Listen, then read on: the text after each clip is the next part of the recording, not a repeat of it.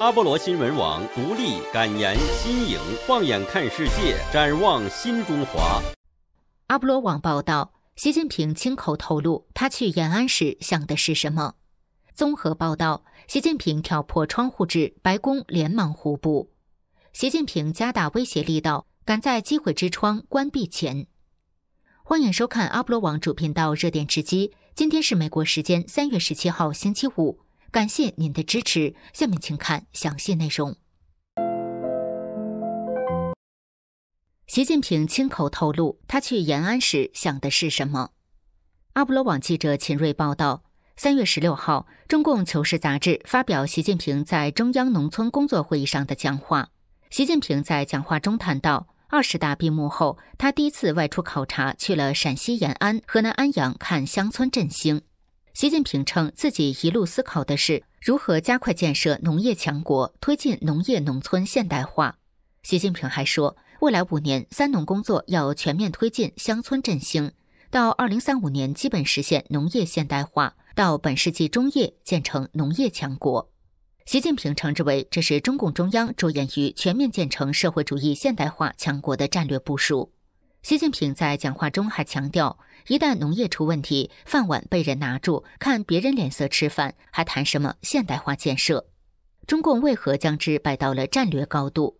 加拿大女王大学历史系兼职助理教授赖小刚此前的分析，或许给出了答案。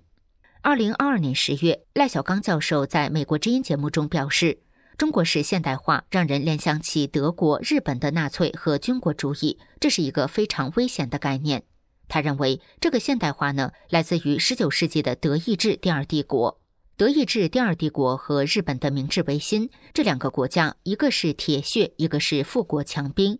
德意志第二帝国的后来就是纳粹帝国，而日本明治维新的后果，咱们都知道了，就是日本帝国和日本在东亚地区进行的侵略。所以现在在提中国式的现代化，实际上呢，就是把中国引上了一个纳粹化。至少来说，就是军国主义的道路，这是一个非常危险的方向。而在一百二十八期的才知道上，浙江工商大学经济学院教授朱海就曾经指出，保障粮食安全是陈旧的冷战思维的产物。著名经济学家毛于轼曾经撰文表示，在现代中国，粮食不安全或大饥荒的实例只发生在经济不自由的计划经济时期，无视耕地作为一种农业要素具有可替代性。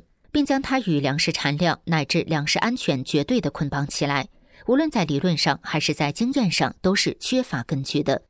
在这过去的一百年中，发生了人类历史上最大的一次饥荒，就是中国的一九五九至一九六一年的大饥荒。所有的重大的饥荒都是因为战争或者是独裁专制，真正因为人口过剩和经济落后而饿死的不是最主要的。习近平挑破窗户纸，白宫连忙互补。三月六号，在北京全国两会期间，中共国家主席习近平罕见的公开指明称，在过去五年中，以美国为首的西方国家对中国实施了全方位的遏制、围堵、打压，给中国发展带来前所未有的严峻挑战，将美中关系的恶化归咎于美国刻意所为。SBS 发表了中共问题专家何清廉的评论，认为。美国媒体对此并不满意，不少认为美中关系的底线可能守不住了。《华尔街日报》明确表示担忧，称中美关系在敌意斡旋中越陷越深。由拜登领导的美国政府和由习近平领导的中国政府之间的紧张关系一直在加剧。就在几周前，中美还在试探着走向外交停火，但现在任何旨在修复双方关系的努力都被推迟了。美中关系陷入如此局面，真正的问题在于美国对华政策处于战略模糊状态。何清廉在最近的文章《美国地缘战略的十字路口：中国威胁 vs 和平崛起》中，回顾了美国从2005年开始并延续至2018年的对华战略分歧。其中提到，美国两大地缘战略大师布热津斯基，他是对华友好的拥抱熊猫派；与米塞斯海默。他是主张中国威胁论的屠龙派。这场讨论最后以“巨人间的冲突”为题发表。布热津斯基的主要观点是：中国正在和平崛起，中国的民族主义是中国崛起的一股重要的力量。对未能统一台湾，中国国内存在着严重的不满。但是冲突并非不可避免，中国领导者并不想在军事上挑战美国，他们关注的重点依然是经济发展以及赢得别国对其大国地位的承认。米塞斯海默反对这个观点，他认为中国不可能和平的崛起。如果它的经济在接下来的几十年里继续保持飞速发展的话，美国和中国之间很可能会进入一场激烈的防务竞争，并极有可能发展为战争。中国的绝大多数邻国，包括印度、日本、新加坡、韩国、俄罗斯和越南，都可能加入美国的阵营，以挟制中国的实力。这场讨论在地缘政治理论圈影响深远，但布热津斯基的主张一直占上风。直到二零一六年，美国大选，川普当选，白宫对华政策急剧转弯。二零一八年十一月二十九号，美国斯坦福大学胡佛研究所发表《中国影响和美国利益：推动建设性警惕报告》，承认美国的中国研究界对中国误判，指出中国利用美国的开放民主加以渗透，大举操弄美国政府、大学、智库、媒体、企业和侨界。希望借此阻断美国对中国的批评以及对台湾的支持。此后，中国威胁看来已成事实。米塞斯海默的中国威胁论再无争议。从二零一八年到如今，又过了好几年。白宫易主是结束战略模糊状态，还是继续保持？美国对华的战略判断，影响的不仅仅是美国自身，还有一大群盟友与准盟友。习近平加大威胁力道，赶在机会之窗关闭前。印度智库中国分析及策略中心三月十六号在新德里举行座谈会，主题为“迫近的中国挑战”，讨论中共对印度的战略挑战、习近平面临的内部难题，以及中共在南亚区域发动的影响战。驻印度代表处多名官员参加这场活动。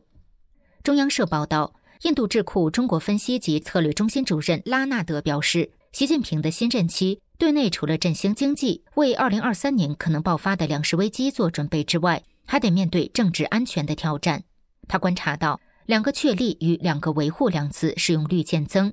中共官媒如人民日报与光明日报也经常出现“两面人”以及政治派系等词语，认为这反映出习近平对政权稳固的担忧。拉纳德说，中共中央纪律检查委员会已着手清查背离两个确立的分子。外传习近平对江派整肃名单列有多达一万五千人。如果习近平真的采取行动，这些人是会群起反抗。中国内部还有一些政商界人士对习近平的俄罗斯政策心存不满，他们担忧自己因此受连累，比如遭到美国制裁。他们也是习近平维持政权稳定所需面对的不定时炸弹。